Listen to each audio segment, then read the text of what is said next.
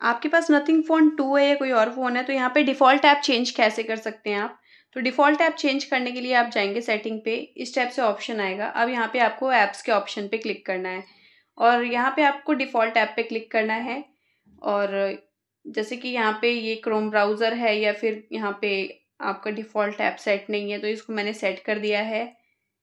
और home screen पे तो यही रहेगा। फ़ोन कॉल और यहाँ पे मैसेजेस के लिए अगर दो तीन ऑप्शन हैं तो आप यहाँ से ऐसे करके चेंज कर सकते हैं।